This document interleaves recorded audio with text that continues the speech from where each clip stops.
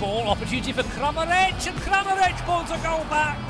The man on loan from Leicester City gets his second of the season, and a crisp finish from Kramaric. Nice delivery from Bogason is unmarked and Koo! He's got his hat trick! Wonderfully put away by Jar Koo on the volley.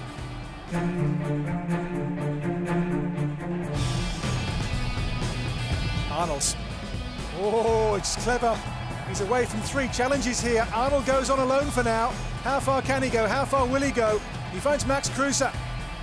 Kruse with a shot. Oh, fantastic goal for Max Kruse. That's now six league goals this season for Max Kruse.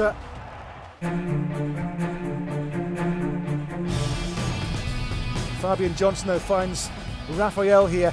If anyone can, Raffael can! It's a brilliant finish. And a way back in here for Gladbach. The finish outstanding.